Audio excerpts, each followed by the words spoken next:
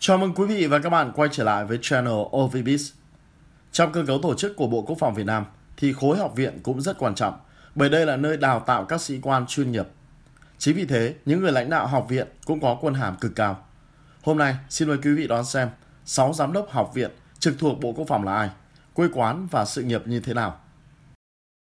1. Thượng tướng Trần Việt Khoa, Giám đốc Học viện Quốc phòng Việt Nam Là một sĩ quan cấp cao trong quân đội nhân dân Việt Nam, hàm thượng tướng, Trần Việt Khoa hiện là Ủy viên Ban chấp hành Trung ương khóa 13, Ủy viên Quân ủy Trung ương, Phó Bí thư Đảng ủy, Giám đốc Học viện Quốc phòng Việt Nam. Ông từng là đại biểu Quốc hội Việt Nam khóa 14, thành phố Hà Nội, nguyên là tư lệnh quân đoàn 1 2013-2015.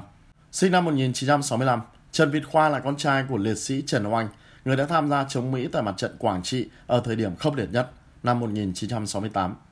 Ông nhập ngũ năm 1983, sau đó đi học tại trường sĩ quan lục quân 2. Trong những ngày đó, trên đất bạn Campuchia, chàng học viên trẻ đã tham gia 16 trận đánh, trong đó có 6 trận đụng địch tại mặt trận 979. Ông trưởng thành từ cơ sở và trải qua tất cả các cương vị như trung đội trưởng, đại đội phó, đại đội trưởng, rồi đến sư đoàn trưởng sư đoàn 301 và được bổ nhiệm vào trọng trách phó tư lệnh Bộ Tư lệnh Thủ đô Hà Nội, phó tư lệnh rồi là tư lệnh quân đoàn 1. Trước năm 2011 là sư đoàn trưởng sư đoàn 301, phó tư lệnh Bộ Tư lệnh Thủ đô Hà Nội năm 2011, ông được bổ nhiệm làm phó tư lệnh quân đoàn 1. Năm 2013, được bổ nhiệm làm tư lệnh quân đoàn 1, đồng thời được thăng quân hàm thiếu tướng. Năm 2015, làm phó giám đốc Học viện Quốc phòng. Ngày 26 tháng 1 năm 2016, tại Đại hội đại biểu toàn quốc lần thứ 12 của Đảng, ông được bầu làm Ủy viên Ban chấp hành Trung ương Đảng khóa 12. Ngày 15 tháng 4 năm 2016, được bổ nhiệm giữ chức Giám đốc Học viện Quốc phòng Việt Nam, Phó Bí thư Đảng ủy Học viện. Ngày 22 tháng 5 năm 2016, trúng cử đại biểu Quốc hội khóa 14, thành phố Hà Nội. Ngày 1 tháng 9 năm 2017, được Chủ tịch nước Trần Đại Quang trao quyết định thăng quân hàm Trung tướng. Ngày 30 tháng 1 năm 2021, tại Đại hội đại biểu toàn quốc lần thứ 13 của Đảng, ông được bầu làm Ủy viên Ban chấp hành Trung ương Đảng khóa 13, nhiệm kỳ 2021-2026. Ngày 1 tháng 9 năm 2021, được Chủ tịch nước Nguyễn Xuân Phúc trao quyết định thăng quân hàm Thượng tướng. 2. Trung tướng Đỗ Minh Sương, Giám đốc Học viện Lục quân. Sinh năm 1968, quê quán tại tỉnh Bắc Ninh, là một sĩ quan cấp cao trong quân đội nhân dân Việt Nam. Đỗ Minh Sương có học vị tiến sĩ, hiện là Giám đốc Học viện Lục quân. Trước khi được bổ nhiệm làm Giám đốc Học viện Lục quân, ông là Sư đoàn trưởng Sư đoàn 312, Quân đoàn 1. Năm 2016, được điều động giữ chức Phó Tư lệnh Quân đoàn 1. Tháng 1 năm 2018, được bổ nhiệm làm Phó Tư lệnh kiêm Tham mưu trưởng Quân đoàn 1. Tháng 4 năm 2020, được bổ nhiệm giữ chức Tư lệnh Quân đoàn 1. Tháng 6 năm 2020, được thăng quân hàm Thiếu tướng. Đến ngày 4 tháng 1 năm 2022, tại Học viện Lục quân, Thượng tướng Vũ Hải Sản, Ủy viên Trung ương Đảng, Thứ trưởng Bộ Quốc phòng chủ trì hội nghị bàn giao chức vụ Giám đốc Học viện Lục quân giữa Thiếu tướng Đỗ Minh Sương lúc đó đang mang quân hàm Thiếu tướng. Nguyên tư lệnh Quân đoàn 1 nay giữ chức vụ Giám đốc Học viện Lục quân thay Trung tướng Hoàng Văn Minh có quyết định nghỉ chờ hưu.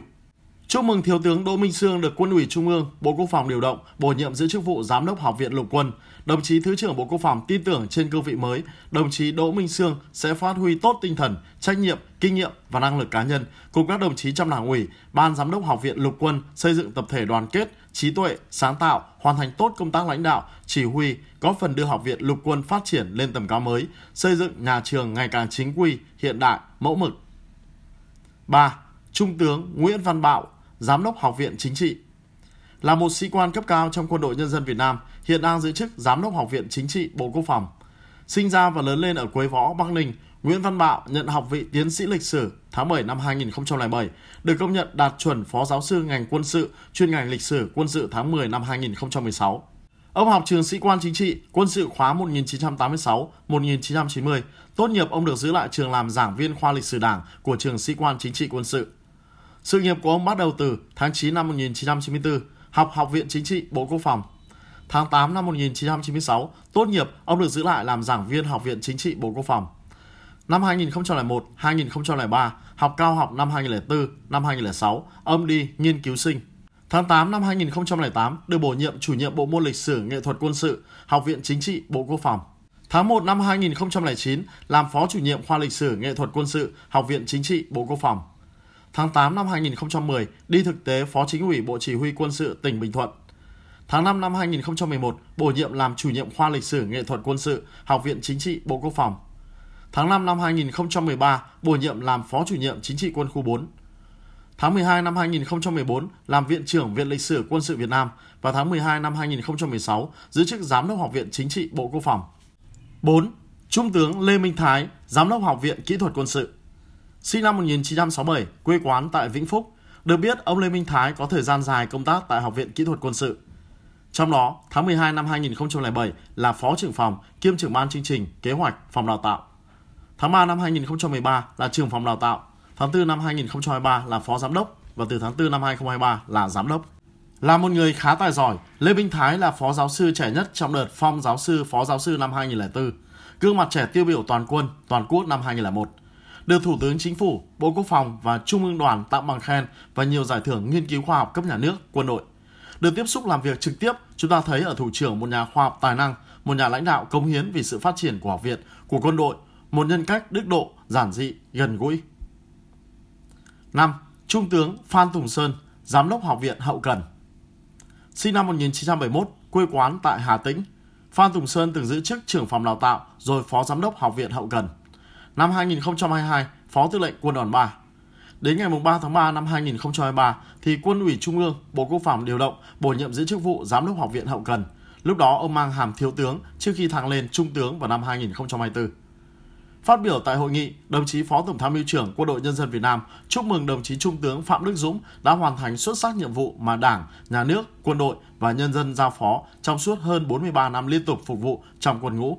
Đặc biệt trong thời gian giữ chức vụ Phó Giám đốc và Giám đốc Học viện Hậu Cần, đồng chí Trung tướng Phạm Đức Dũng đã có nhiều công lao, công hiến quan trọng vào sự phát triển của học viện. Thời gian tới, mong rằng đồng chí sẽ tiếp tục phát huy trí thức, kinh nghiệm, tiếp tục giúp đỡ học viện trong công tác giáo dục, đào tạo, nghiên cứu khoa học. Chúc mừng đồng chí Thiếu tướng Phan Tùng Sơn được Quân ủy Trung ương, Bộ Quốc phòng điều động, bổ nhiệm giữ chức vụ Giám đốc Học viện Hậu Cần. Đồng chí Phó Tổng tham mưu trưởng Quân đội Nhân dân Việt Nam tin tưởng trên cương vị mới, đồng chí Phan Tùng Sơn sẽ phát huy tốt tinh thần, trách nhiệm, kinh nghiệm công tác, nhanh chóng bám nắm đơn vị, nhiệm vụ chính trị của học viện, cùng với các đồng chí trong thường vụ Đảng ủy, Ban giám đốc Học viện Hậu Cần tiếp tục lãnh đạo học viện hoàn thành tốt nhiệm vụ trong thời gian tới. Trung tướng Nguyễn Trọng Bình đề nghị Ban Thường vụ Đảng ủy, Ban Giám đốc Học viện Hậu Cần quan tâm giúp đỡ đồng chí Thiếu tướng Phan Tùng Sơn trong quá trình công tác, xây dựng tập thể đoàn kết, thống nhất, chấp hành nghiêm nguyên tắc tổ chức sinh hoạt của Đảng, xây dựng Đảng bộ Học viện Hậu Cần trong sạch, vững mạnh, tiêu biểu học viện vững mạnh toàn diện, mẫu mực tiêu biểu ngày càng phát triển. 6. Trung tướng Nguyễn Xuân Kiên, Giám đốc Học viện Quân y. Quê quán tại Nam Định, được biết Trung tướng Nguyễn Xuân Kiên nhận nhiệm vụ này vào năm 2022. Ngày 5 tháng 5 năm 2022, tại Học viện Quân y đã diễn ra buổi bàn giao chức vụ Giám đốc Học viện Quân y dưới sự chủ trì của Thượng tướng Nguyễn Tân Cương, Ủy viên Trung ương Đảng, Ủy viên Thường vụ Quân ủy Trung ương, Tổng tham mưu trưởng Quân đội Nhân dân Việt Nam, Thứ trưởng Bộ Quốc phòng. Theo đó, Thiếu tướng, Phó giáo sư, tiến sĩ Nguyễn Xuân Kiên lúc đó mang hàm thiếu tướng, Cục trưởng Cục Quân y, Tổng cục Hậu cần, được bổ nhiệm giữ chức vụ Giám đốc Học viện Quân y thay cho người tiền nhiệm là Trung tướng, Giáo sư, tiến sĩ Đỗ Quyết. Người tiếp nhận chức vụ Cục trưởng Cục Quân y thay cho Thiếu tướng Nguyễn Xuân Kiên là Thiếu tướng, Giáo sư, tiến sĩ Nguyễn Trường Giang. Trước khi đảm nhiệm vai trò người đứng đầu Cục Quân y, Thiếu tướng Nguyễn Trường Giang là Phó Giám đốc Học viện Quân y. Trước đó, ngày 5 tháng 4 năm 2022, Ban Bí thư đã họp để xem xét thi hành kỷ luật Ban Thường vụ Đảng ủy Học viện Quân y các nhiệm kỳ 2015, 2020, 2020, 2025 và các nhân sự, trong đó có Trung tướng Đỗ Quyết, Phó Bí thư Đảng ủy, Giám đốc Học viện Quân y. Sau khi xem xét đề nghị của Ủy ban Kiểm tra Trung ương, Ban Bí thư nhận thấy Ban Thường vụ Đảng ủy Học viện Quân y các nhiệm kỳ 2015, 2020, 2020, 2025 đã vi phạm nguyên tắc tập trung dân chủ, thiếu trách nhiệm, buông lỏng lãnh đạo, chỉ đạo, thiếu kiểm tra, giám sát để một số lãnh đạo chủ chốt của học viện và nhiều cán bộ, đảng viên vi phạm các quy định của Đảng, pháp luật của nhà nước trong đề xuất tổ chức thực hiện nhiệm vụ khoa học và công nghệ cấp quốc gia, nghiên cứu chế tạo bộ sinh phẩm xét nghiệm COVID-19 và mua sắm vật tư y tế, kit xét nghiệm phòng chống dịch COVID-19. Theo đó, Ban Bí thư quyết định thi hành kỷ luật Trung tướng Đỗ Quyết bằng hình thức cách chức tất cả các chức vụ trong Đảng nhiệm kỳ 2015, 2020, 2020, 2025. Trung tướng Đỗ Quyết, Phó Bí thư Đảng ủy, Giám đốc Học viện Quân y cũng chịu trách nhiệm về những vi phạm, khuyết điểm của Ban Thường vụ Đảng ủy, chịu trách nhiệm chính và trách nhiệm người đứng đầu về những vi phạm, khuyết điểm của Học viện Quân y. Trên đây là thông tin về 6 giám đốc học viện trực thuộc Bộ Quốc phòng. Cảm ơn quý vị đã quan tâm theo dõi. Nếu thấy hay, hãy subscribe, like và share để ủng hộ OVBIZ. Còn bây giờ, xin chào và hẹn gặp lại.